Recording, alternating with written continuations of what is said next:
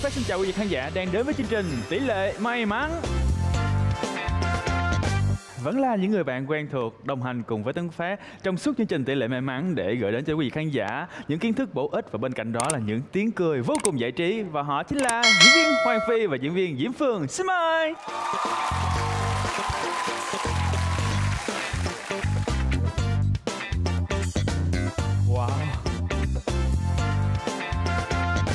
Vâng, Hoàng Phi và Diễm Phương today Cái tay của đâu rồi? Cái gì vậy? Tay tôi đây nè Trời ơi Chào chị. Không phải, cái kiểu này là giống như là một cái dạng mà phu nhân quyền lực có hiểu không? Là đang vô vai là nữ uh, CEO Đúng quyền lực rồi. À là là là quyền lực là phải mặc kiểu vậy hả? Đúng rồi Cái này nó có tên gọi Ủa chị mặc mà chị không biết hả? Không, sao Cái này là chứ? cái này ném đá dấu tay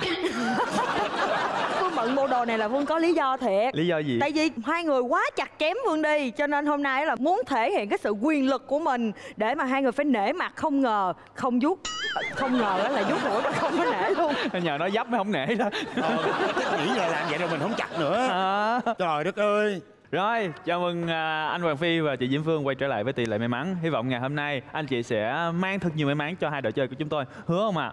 Không à, tại vì ngoài cái chuyện là hỗ trợ người chơi thì ẩn trong chúng tôi vẫn còn cái phần ờ, ờ, lương người chơi, lương người chơi, nhớ tiền chơi chương trình Nhưng một chút xíu thôi, một chút xíu thôi Nhưng hỗ trợ vẫn hỗ trợ nhiều hơn Rồi, mời anh chị về vị trí. Như đó đủ rồi.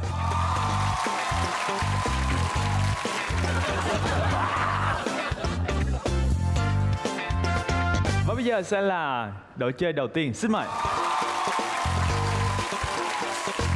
Ủa, ủa Ờ Ờ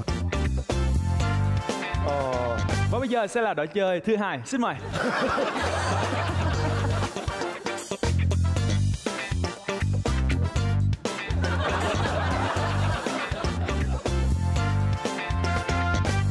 Lời nói đầu tiên thì em xin gửi ờ, lời chào đến anh Võ Tấn Phát Chào cũng em. như là hai vị cố vấn là chị Diễm Phương và anh Hoàng Phi và tất cả mọi người. Em tên là Đỗ Hải Nam và hiện tại thì em đang là sinh viên của trường Cao đẳng Văn hóa Nghệ thuật Thành phố Hồ Chí Minh ạ. Ừ. Khoa gì em? Dạ em học khoa thanh nhạc anh. Ồ. Còn à, đồng đội của mình? Xin chào anh Phát, chào chị Phương và em chào anh Phi và chào tất cả mọi người. Em tên là Nguyễn Lê Tú Hảo. À, hiện tại em đang là sinh viên trường Cao đẳng Văn hóa Nghệ thuật Thành phố Hồ Chí Minh, khoa thanh nhạc luôn. À là hai bạn học chung lớp luôn. Dạ đúng dạ rồi. chung lớp. Ồ. À giờ- sau đây em xin ờ, gửi đến chương trình cùng với anh chị một bài hát có tên là Quê hương ba miền ạ. Rồi, mời hai bạn. Nỗi nương hữu tình ba miền xinh đẹp quá. Từ những câu hò ý nhạc thành bài ca. Ngày vui em đến thăm Hà Nội. Gió chiều hồ gươm vang bóng thời xưa. Dạ em xin Ngọt quá Dễ thương. Rồi, cảm ơn món quà của hai bạn ha. Rồi à, đội của mình lấy tên gọi là gì? Dạ đội Hướng nội nướng ạ. nội ạ Hướng nội. dạ. Trời ơi, hàng chi ra đi e ấp bẹn lẹn quá. Nhưng lúc mà vô chơi là phải hướng ngoại giùm tôi một cái nha. Ờ, hướng nội là thua người ta đó. Rồi, xin chúc cho đội hướng nội ngày hôm nay thật nhiều may mắn. Mời hai Dạ bạn vâng về vị trí. Đây đội bên kia hình như là bắt xe về luôn rồi. Cái kia là đang đứng bên phía bên ngoài đó mình cho vô luôn còn đi lại hả để còn ai còn còn còn và bây giờ chúng ta sẽ cùng gặp gỡ lại đội chơi thứ hai xin mời à.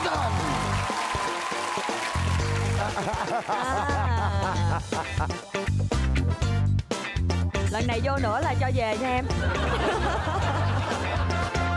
Dạ, xin chào anh Phát, xin chào anh Phi, xin chào chị Phương, xin chào tất cả mọi người. Em là Kim Loan, là giáo viên năng khiếu và hiện tại đang sống tại thành phố Hồ Chí Minh.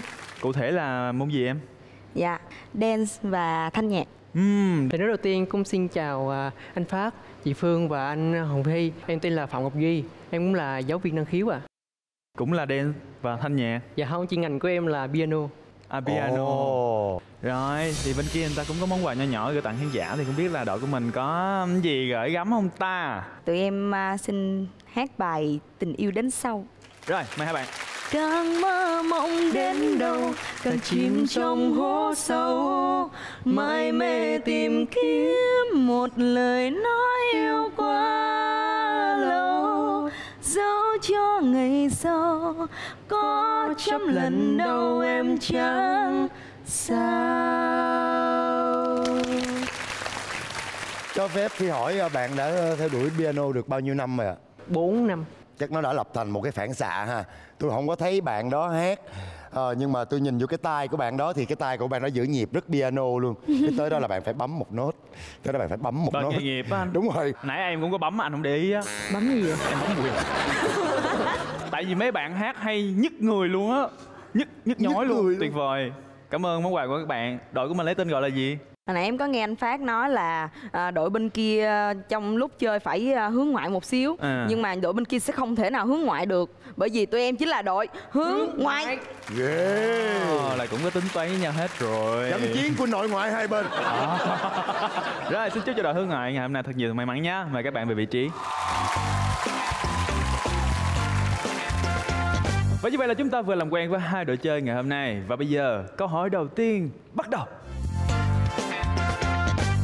Câu hỏi đầu tiên là một câu hỏi về ca dao tục ngữ và các bạn hãy lưu ý là ca dao tục ngữ của Việt Nam thì rất là phong phú vậy nên sẽ có rất nhiều những bản chép khác nhau. Chúng tôi chỉ chấp nhận đáp án trùng khớp với đáp án chương trình đưa ra mà thôi. Điện tư con thiếu vào chỗ trống. Một mình, mình một bơ thờ giữa cây, cây ngã giữa bờ bờ ba chấm. A. Nghiêng B. Siêu thanh ngữ tục ngữ ca dao dân ca Việt Nam nhà xuất bản văn học năm 2022 Dạ theo em nghĩ là bờ siêu tại vì lúc mà ghép vào thì cái chữ siêu nó À còn em thấy sao? Dạ em cũng giống bạn Chốt liền cho anh Chốt luôn luôn khỏi cần nghe tư vấn gì hết Câu đầu rất rẽn dễ mà Các bạn nghĩ sao? em thì em nghĩ là bờ nghiêng à Dựa thì nó phải nghiêng ngả dạ đúng, đúng không? rồi Ừ. đang ngã là phải nghiêng chứ ngã mà siêu thì à, cũng Nó không ngã lắm đâu dạ. Em thì sao? Em thấy à, bờ nghiêng nghe nó cũng hợp lý. Mà bờ siêu nó cũng có sao lý. nó cũng có lý ta? Thôi mình nhờ đi nhờ sự tư vấn đến từ anh Phi và chị Phương. Mình muốn nghe ai trước ạ? Em muốn nghe từ chị Phương trước đi. Theo chị á nha trong cái câu này thì ờ, cái từ siêu có nghĩa là liêu siêu. Dựa cây thì cây đã ngã đã đổ rồi. Dựa vào bờ thì bờ nó cũng liêu siêu nó cũng nghiêng ngã theo. Thì cái chữ siêu á nó sẽ ờ, khiến cho người ta cảm thấy là nó nó chơ vơ thiếu cái chỗ để mình nương tựa bám vịnh hơn là cái chữ nghiêng. Và chị sẽ cho từ siêu này ờ, 85% Mình Phi. Tôi cũng không muốn nói gì hơn tại vì cái chữ nghiêng nó đã quá phù hợp với chữ ngã mất rồi. Trong cái câu thì chữ siêu hay chữ nghiêng gì thì nó cũng thể hiện cho người ta thấy cái bờ nó không còn vững vàng nữa. Thì cái chữ siêu nhiều khi cái cái chữ mà mình thấy nó không phù hợp nó lại là cái đúng trong ca dao tục ngữ mình không có nói được cái điều đó. Như phát nói là có nhiều dị bản nhưng mà sẽ có cái nào? hả? Em nói nào? Ờ, trong những số trước. Không, nãy em cũng có nói mà. Vậy thì kể cả số này luôn. À, thì À. Em hỏi lại thôi Tại nhiều khi em nói mà không nhớ chứ anh gì đâu anh căng quá à. anh đang nói xạo á phát. À, em phải làm bị căng thẳng. Các bạn nhìn vô các bạn thấy mà đúng không? Chữ ngã thì phải đi chữ nghiêng. Cái chữ nghiêng nó quá đúng rồi nó nó hoàn toàn chính xác với cái nhịp của cái câu này ngã thì phải nghiêng. À, Dù ai nói ngã nói nghiêng chứ. Dù ai nói ngã nói siêu Đâu có ai nói bao giờ đúng không? dù ai nói ngã nói siêu á siêu ở đây nó lại trở thành siêu lòng cho nên là nó sẽ không thể sử dụng từ siêu được người ta mới phải sử dụng từ nghiêng còn bây giờ ở cái câu này á đã cái ngã ở phía trước á là nó đã mang đủ cái hàm ý ngã nghiêng rồi. Thì cái phía sau á nó phải có một cái từ gì đó nó mạnh hơn để mình thấy được cái nội tâm hay là cái hàm ý mà người ta muốn gửi gắm ở trong cái câu ca dao tục ngữ này chứ. Bất kỳ một cái bờ hồ bờ gì đó thì nó đều nghiêng. Đúng không? Đúng rồi. Nó nghiêng vậy không nghiêng vậy thì nó nghiêng vậy.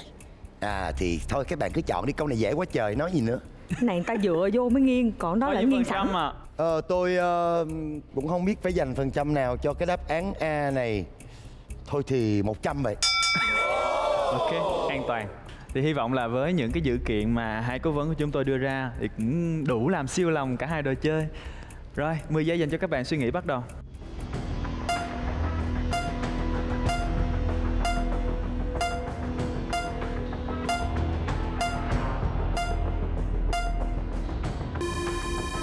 Mười giây đã trôi qua. Xin mời đáp án của hai đội.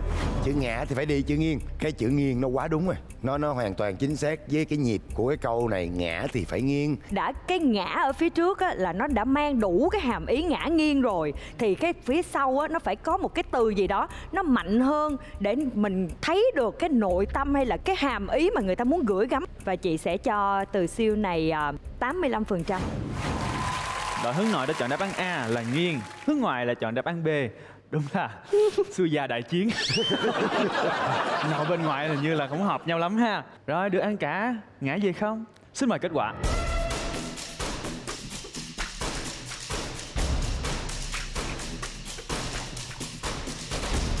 Và đáp án chính xác đó là B. Chúc mừng hướng ngoại. Như vậy đáp án B siêu đã mang về 2 triệu đồng tiền thưởng đầu tiên dành cho hướng ngoại. Người dẫn đường đó chính là diễn viên Diễm Phương. Kẻ gây rối diễn viên Hoàng Phi.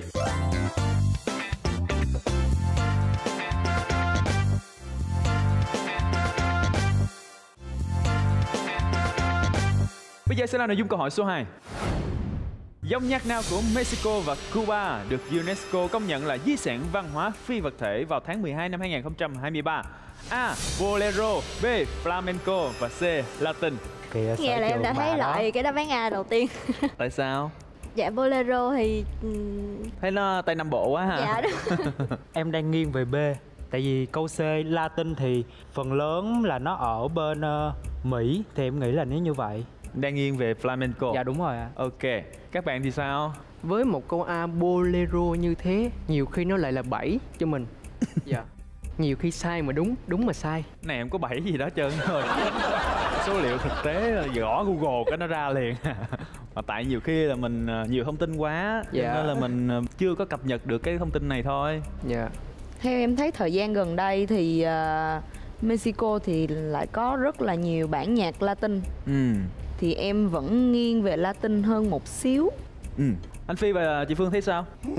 Thôi được rồi. Trong phi dự lần này tôi um, xin uh, nói một số vấn đề như sau. Theo như các bạn biết thì uh, ở Việt Nam của mình cũng có một thể loại được công nhận là di sản văn hóa phi vật thể đúng không?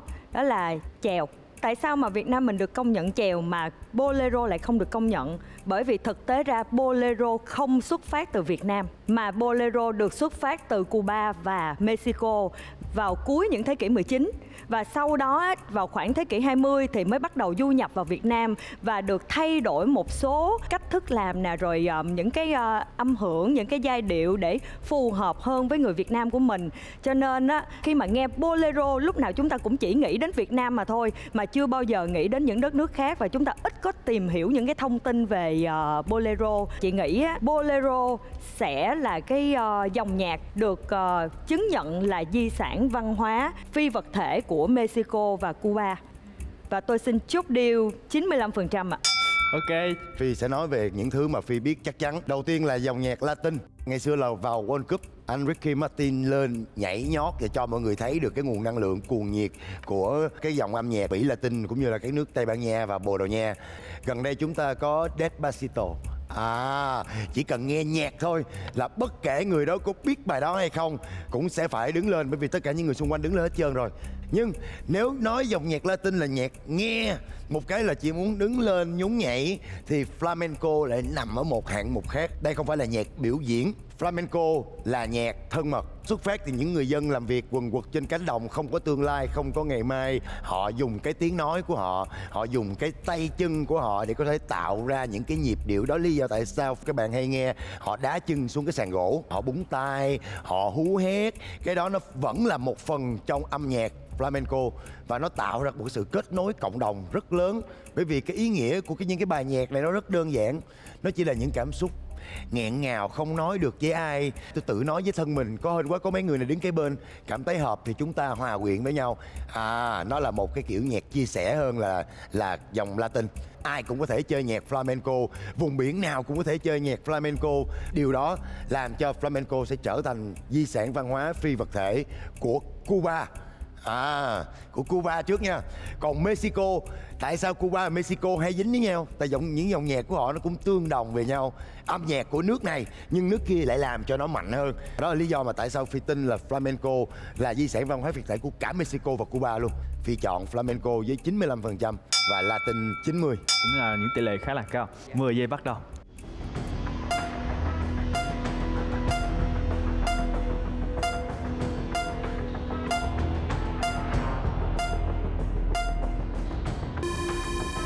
Mười giây đã trôi qua Mời đáp án của hai đội. Ai cũng có thể chơi nhạc flamenco vùng biển nào cũng có thể chơi nhạc flamenco. Điều đó làm cho flamenco sẽ trở thành di sản văn hóa phi vật thể. Bolero được xuất phát từ Cuba và Mexico vào cuối những thế kỷ 19 và sau đó vào khoảng thế kỷ 20 thì mới bắt đầu du nhập vào Việt Nam. Đội hướng nội đã chọn đáp án A là Bolero Và đội hướng ngoại đã chọn đáp án B đó chính là Flamenco để coi. Lựa chọn tin theo chị Phương hay là anh Hoàng Phi mới là sự lựa chọn đúng đắn. Xin mời kết quả. Và kết quả của chúng tôi. Chúng ta sẽ được biết sở ít phút quảng cáo. Xin mời.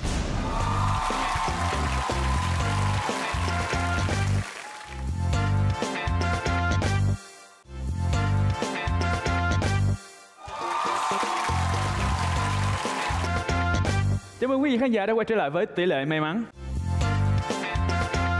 Vừa rồi chúng ta đã có câu hỏi như sau. Dòng nhạc nào của Mexico và Cuba được UNESCO công nhận là di sản văn hóa phi vật thể vào tháng 12 năm 2023 Rồi hướng nội đã chọn đáp án A là Bolero, Hướng ngoại đã chọn đáp án B là Flamenco.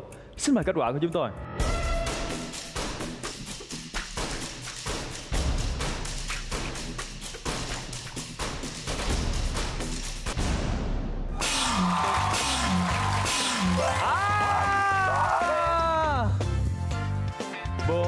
Bolero Bùm chắc chắc bùm sao vậy anh Phi? Hả? Sao cúi đầu quá vậy? Đâu anh ờ, bận vẽ anh ờ, mấy kia mau quên lắm. Sau khi ờ, tin tưởng nhầm người thì cảm xúc của các bạn như thế nào? Dạ đâu nhiều ạ. Đau ha dạ. Trời ơi tụi em biết thêm quá trời thông tin luôn mất có 2 triệu bạc mà đau lòng gì trời. Đúng rồi. Tại sao không hướng về tương lai với 16 triệu và 32 triệu ở câu 4 và câu 5 các em? Ừ. dạ. Ngoài biết thêm thông tin còn biết bộ mặt thật của anh Phi nữa Đúng rồi, mình phải rút kinh nghiệm cho những câu sau nha. Dạ. Và như vậy, sau qua hai câu hỏi thì đội hướng nội đang có 4 triệu đồng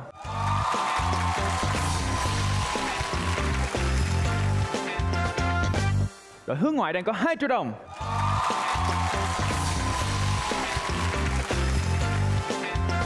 Người dẫn đường tiếp tục là diễn viên Diễm Phương. Kẻ cái rỗi diễn viên Hoàng Phi giờ sẽ là nội dung câu hỏi số 3 Địa điểm nào tại Việt Nam được World Travel Awards vinh danh là công trình du lịch hàng đầu thế giới năm 2023? A. Cáp treo Hòn Thơm ở Kiên Giang B. Nhà hát đó ở Khánh Hòa C. Tháp Nghinh Phong, Phú Yên Và D. Cầu Hôn, Kiên Giang Em sẽ loại phương án B bởi vì nhà hát nói là một cái địa điểm hát chứ nó không phải là một cái địa điểm du lịch. Bởi vì trong cái uh, World Travel là nó đã có cái chữ du lịch rồi. Còn ba đáp án còn lại thì em đang phân vân nhưng mà em thì nghiêng về câu D nhiều hơn. Là Cầu Hôn Dạ. Công trình này là cũng mới được ờ, đưa vào khai thác gần đây thôi Và được du khách nước ngoài đánh giá rất là cao Anh nghĩ cũng có cơ sở ha Dạ. Các bạn thì sao? Mình nghĩ công trình nào? Ờ, thì em đang nghiêng về phương án A là cáp treo hòn thơm và C là tháp nghinh phong Ừ, em đi ờ, những địa điểm này chưa? dạ chưa ạ Chưa hả? em có tìm hiểu ở câu D rồi Câu D Dạ. là cầu hôn Nổi tiếng quá rồi đúng không? Bạn thì sao? Em thì à, sẽ nghiêng về câu C nhiều hơn Tại vì à, khi mà nói về công trình du lịch cáp treo thì Việt Nam mình không có ít Mà cáp treo hòn thơm thì nó không có được à, nó, Quá nó- nổi bật đúng không? Đúng rồi, so với những cái loại cáp treo khác Ừ. Còn như tháp Nghinh Phong Mặc dù là em chưa có đi đến đó bao giờ Nhưng mà em có nghe nói nhiều Thì công trình du lịch hàng đầu thế giới năm 2023 là nó cũng chỉ mới đây thôi Thì nó cũng phải có một cái khoảng thời gian dài Để nó có một cái vị trí nhất định Để người ta có thể vinh danh nó như thế Thì em nghĩ là tháp Nghinh Phong Thật trùng hợp sau khi phá các bạn hai câu thì chúng ta lại trùng nhau hai sự lựa chọn của bạn đó là Tháp Nghinh Phong và ờ, cáp treo Hòn Thơm thì tôi đều chọn hai đáp án đó. May mắn chưa nào, may mắn chưa nào. Rồi loại hai đáp án đó ra đi Dành cho những bạn nào mà chưa hiểu rõ về cáp treo Hòn Thơm. Đây là một trong những cáp treo top thế giới nha. Về cáp treo 3 giây dài nhất thế giới băng qua biển. Khi nó cái kỷ lục đó được xác nhận khi mà cái cáp treo này khai trương của tổ chức Ờ. Guinness thế giới xác nhận luôn. Đây là cáp treo an toàn nhất thế giới về cái đường đi đó trên biển.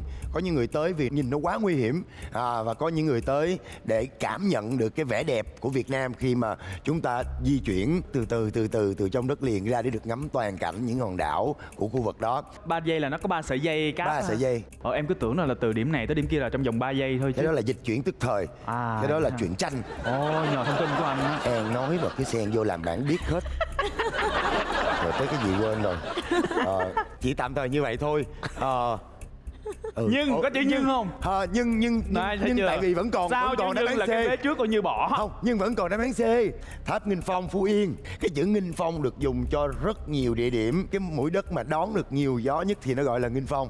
Thì ở Phú Yên cũng có một cái mũi Nghinh Phong như vậy được xây cái tháp. Theo hình tượng là mẹ Âu Cơ và trong đó có những cái đá ghép vào với nhau. Sau đó họ sắp xếp những cái tầng đá, nó có những cái khe hở để khi những cái cơn gió lớn tới, nó thổi xuyên qua, nó tạo thành âm thanh. Để ngoài cái tầm nhìn ra thì mọi người còn cảm nhận được hết cái cảnh đẹp của nơi này. Thì đó là lý do mà phi nghĩ là tháp nghinh phong lợi thế hơn cáp treo hòn thơm cáp treo hòn thơm thì nó quá công nghệ kỹ thuật rồi nó là những cái khối sắt còn cái này nó có cả tâm hồn nó có cả câu chuyện văn hóa của người việt và nó rất phù hợp với cái quan cảnh tự nhiên ở đó phi sẽ dành cho ờ, tháp nghinh phong 97% và cáp treo hòn thơm 40%.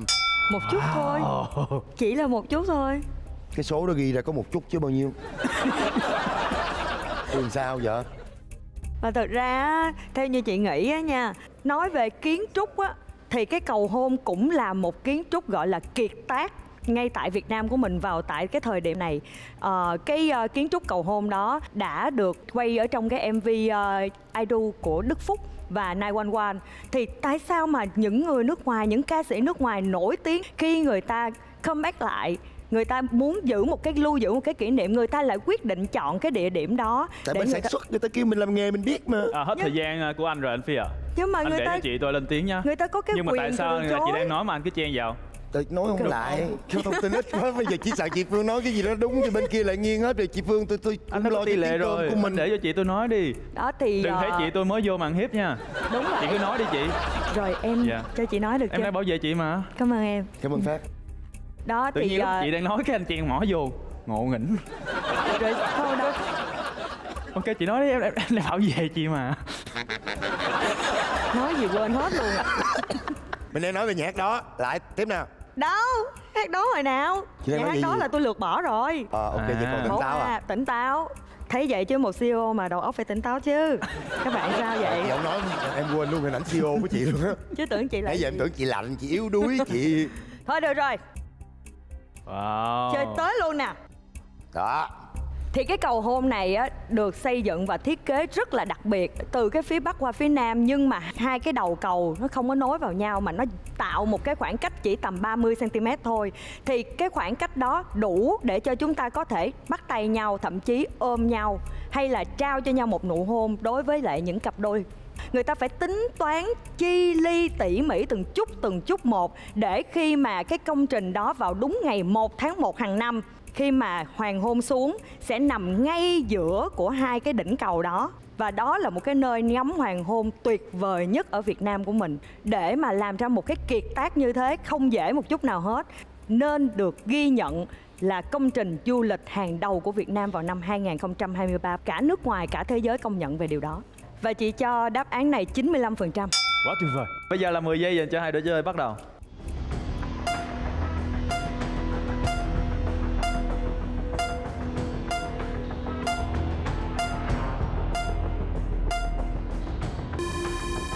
Mười giây đã trôi qua, nhanh quá. Xin mời đáp án của hai đội. Thì cái cầu hôn này á, được xây dựng và thiết kế rất là đặc biệt để khi mà vào đúng ngày 1 tháng 1 hàng năm khi mà hoàng hôn xuống sẽ nằm ngay giữa của hai cái đỉnh cầu đó và đó là một cái nơi ngắm hoàng hôn tuyệt vời nhất ở Việt Nam của mình. Tháp Nghinh Phong, Phú Yên được xây theo hình tượng là mẹ Âu Cơ. Họ sắp xếp những cái tầng đá, nó có những cái khe hở để khi những cái cơn gió lớn tới, nó thổi xuyên qua, nó tạo thành âm thanh để ngoài cái tầm nhìn ra thì mọi người còn cảm nhận được hết cái cảnh đẹp của nơi này và hướng nội đã chọn đáp án D, đó chính là cầu hôn ở Kiên Giang. Hướng ngoại là chọn đáp án C là tháp Nghinh Phong ở Phú Yên. Ngay bây giờ, xin mời kết quả của chúng tôi.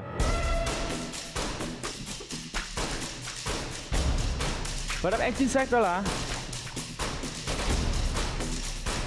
Đáp án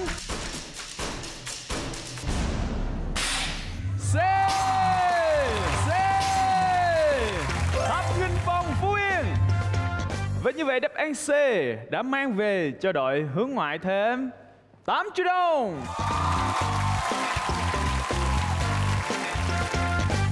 Và sau qua 3 câu hỏi thì đội hướng ngoại đang có 10 triệu đồng.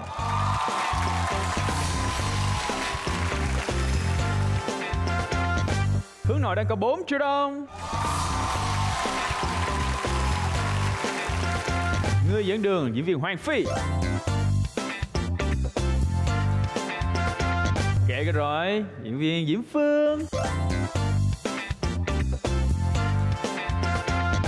Và sau đây là một vài hình ảnh đến từ à, Tháp Nghinh Phong, một trong những công trình du lịch hàng đầu thế giới năm 2023.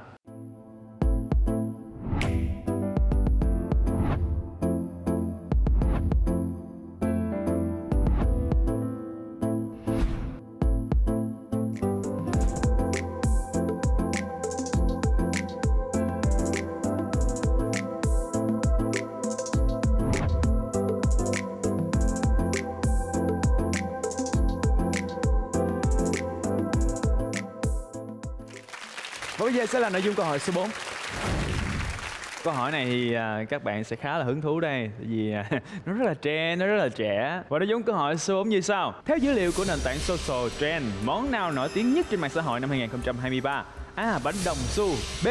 Trà chanh giả tay C. Mì thanh long D. Trà mãng cầu Và E là gỏi gà măng cục Dạ theo em nghĩ là chắc là gỏi gà măng cục Tại vì em có xem những cái video, những cái clip cô chú ngồi gọt măng cục mà gọt phải chi là cả trăm ký.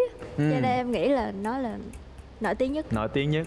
Em thì nghĩ là trà mãng cầu. Tại sao? Em đã loại ngay mì thanh long với bánh đồng xu với trà chanh giả tay Là bởi vì là ba cái đáp án này là nó mới nổi đây. Mà trong câu hỏi là nổi tiếng nhất Thì nó là phải làm ở một cái thời gian lâu Thì nó mới nổi tiếng nhất được Mà trà mãng cầu thì em thấy hồi đó Em lướt video nào cũng có trà mãng cầu, trà mãng cầu, trà mãng cầu hết trơn á. Nên là em em nghĩ là trà mãng cầu là cái trend nổi nhất. Ok, đó là ý kiến của các bạn hướng nội. Các bạn hướng ngoại thì sao? còn nói gì nữa? Nói gì nữa? quá rõ ràng lần đầu tiên Trái trái thanh long có trong mì tôm. Trong năm món ở đây thì em đã từng thử hết tất cả rồi. Và món mà em khó tìm nhất đó chính là gỏi gà măng cục Ừ. tại vì em rất thích ăn măng cục chín. Nhưng thời điểm đó là không hề có trái măng cục chín nào hết. Ê, xanh xanh là người ta hái đi Dạ, bán rồi. rồi. Cho nên là em đang suy nghĩ là giữa mì thanh long và gỏi gà măng cục. Ok, rồi. Mời anh chị ạ, hỗ trợ hỗ trợ cho em nói coi theo chị á thì chị lại um, lại thích cái trà chanh giả tay và cái mì thanh long. Um, giống như em nói á, thì uh, cái trà mãng cầu thì đúng là nó xuất hiện lâu rồi. Nhưng mà thực tế ra thì cái khoảng thời gian đó nó hot. Đến thời điểm sau này thì mình cũng bắt đầu không thấy nữa rồi. Và bắt đầu tới là như ca khúc mì thanh long hot lên và cái trà chanh giả tay cũng bắt đầu hot lên. Nhưng mà mì thanh long thì nó chỉ thông qua được cái ca khúc đó thôi. Còn đối với trà chanh giả tay thì chị thấy rất là nhiều sản phẩm về trà chanh giả tay như là những cái clip là uh, các anh uh, hướng dẫn dạy uh, cách pha chế cái thức uống đó.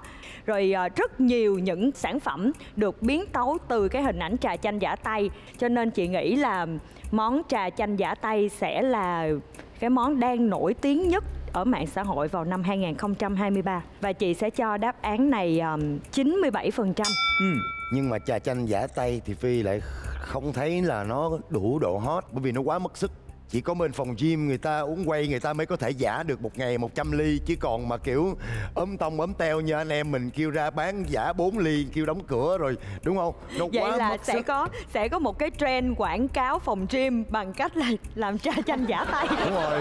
Trời ơi nghĩ sao đi làm bán ngày ngàn ly về người tay sạn bên luôn á. Cho nên tôi nghĩ là nó không phù hợp để trở thành một cái trend theo kiểu kéo dài toàn năm và nhất là nó lại xuất phát ngay dịp cuối năm nữa. Phi còn lại hai đáp án là trà mãng cầu và gỏi gà măng cục. Bây giờ chúng ta sẽ suy xét lại tính chất tồn tại của hai món này. Hiện giờ trong các quán ăn cái những cái quán nào bán gỏi gà măng cục? Rất ít. Tại nó theo mùa mà. Ừ. Theo Nhưng măng cục. trà mãng cầu loại trà mà được gọi cái tên là trà quốc dân thì lại đang có mặt ở trong những cái quán nước giải khát quán cà phê trong menu. Như một việc nghiễm nhiên không còn là trend nữa nó trở thành một cái thức uống hàng ngày không thể nào thiếu. Thì với cái tiêu chí đó thì phi nghĩ là trà mãng cầu xứng đáng được gọi là món nổi tiếng nhất trên mạng xã hội năm 2023 như đó thôi chạm mãn cầu ạ. À. với uh, 90 9 phần trăm. 99 phần trăm. Chúng ta đã có những tỷ lệ phần trăm cho các đáp án. Ngay bây giờ sẽ là 10 giây để các bạn đưa ra đáp án cuối cùng. Xin mời.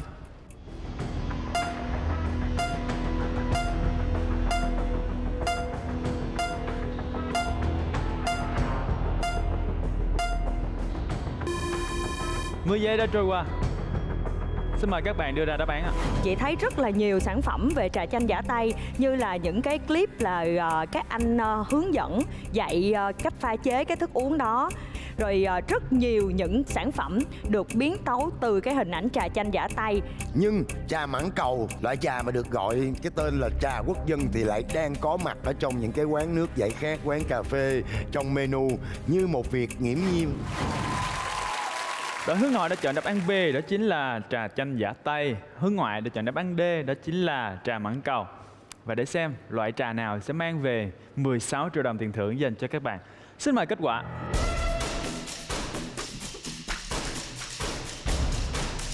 Và đáp án chính xác. Chúng ta sẽ được biết sở phút quảng cáo. Xin mời.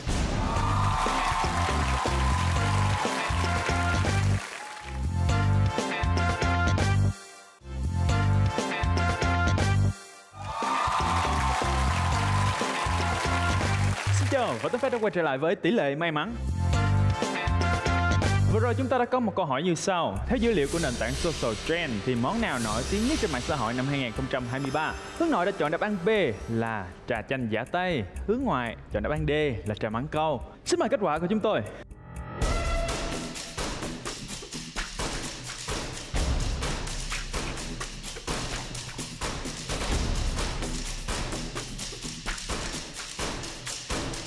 Đáp án. Yeah! Trà mãn câu. Xin được chúc mừng, Hướng ngoại đã có thêm 16 triệu đồng tiền thưởng. Và sau qua 4 câu hỏi Hướng ngoại đã có 26 triệu đồng.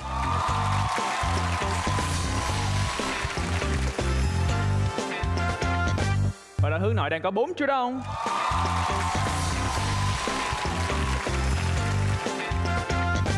Người dẫn đường đó chính là diễn viên Hoàng Phi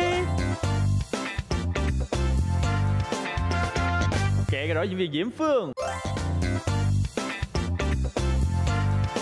Và bây giờ sẽ là nội dung câu hỏi cuối cùng một mặt của mẫu tiền giấy mới nhất của Nhật Bản, mệnh giá 10.000 yên, có in hình ảnh nào? A. Bức tranh núi Phú Sĩ B. Hoa tử đằng Nhật Bản C. Cờ cá chép coi D. Nhà ga Tokyo E đền Isukushima và F là đàn chim hạt. Em thì em sẽ loại uh, bức tranh núi Phú Sĩ với lại uh, cờ cá chép. Tại sao?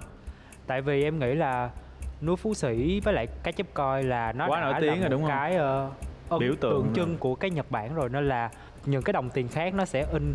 In trước. Dạ đúng rồi Nên là làm lại mới thì em đang phân vân bốn đáp án còn lại mà em vẫn chưa chứ em phải nhờ cố vấn Nhờ đi chứ, hồi nãy là cái câu trước tôi thấy là phân tích đúng quá trời luôn. Chọn là trà mắng câu đúng là tôi thấy ngon là vô rồi vô rồi. Cuối cùng chọn trớt quốc Giờ muốn nghe ai?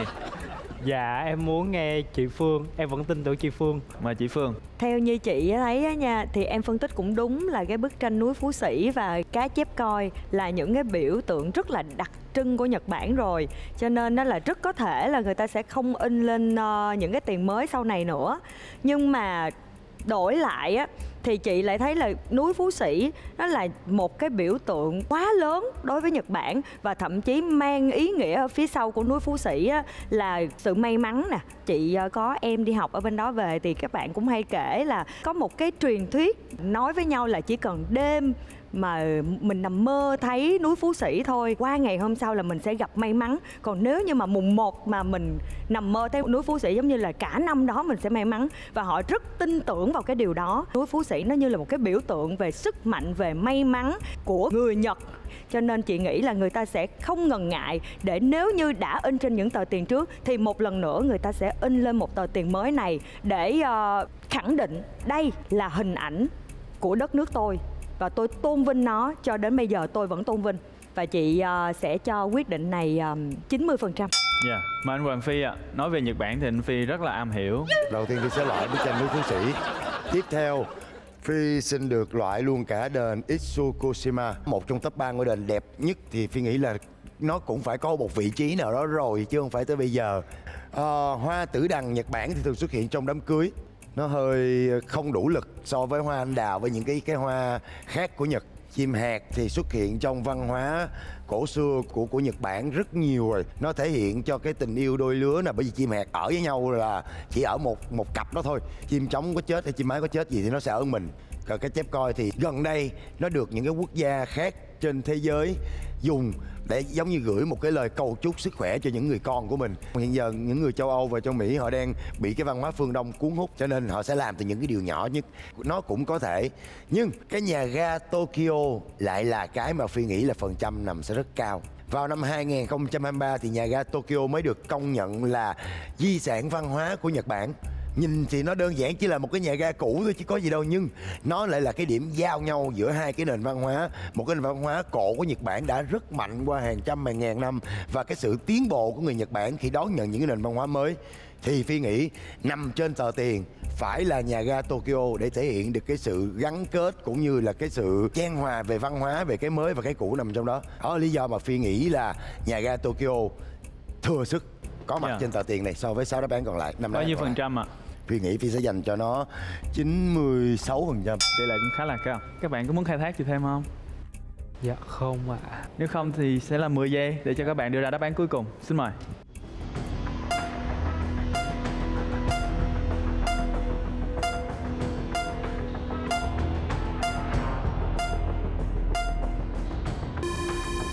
Mười giây đã trôi qua, xin mời đáp án của hai đội.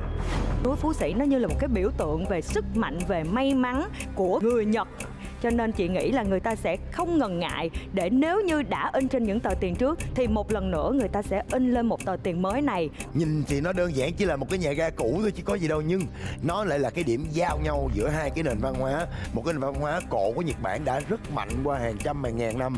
Và cái sự tiến bộ của người Nhật Bản khi đón nhận những cái nền văn hóa mới, Thì Phi nghĩ nằm trên tờ tiền phải là nhà ga Tokyo. Cả hai đội đều chọn đáp án D, đó chính là nhà ga Tokyo. Nghe theo sự phân tích đến từ anh Hoàng Phi. Để xem đây có phải là đáp án chính xác hay không. Xin mời kết quả.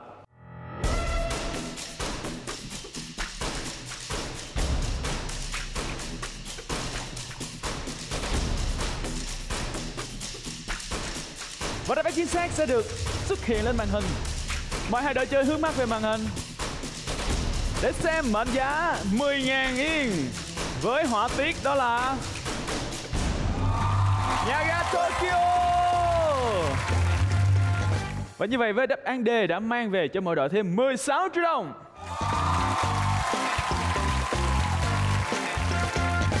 Và sau năm câu hỏi, hướng ngoại đang có 42 triệu.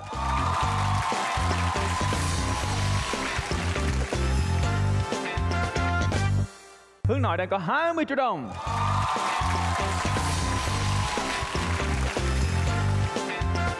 Người dẫn đường diễn viên Hoàng Phi Kẻ cái rõ diễn viên Diễm Phương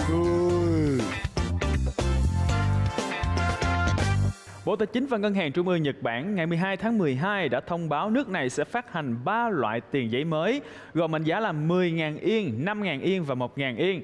Và đây là lần đầu tiên nước này thay đổi mẫu tiền giấy trong khoảng 20 năm qua. Và bây giờ là xin mời hai đội chơi cùng bước lên sân khấu để chào khán giả nhé.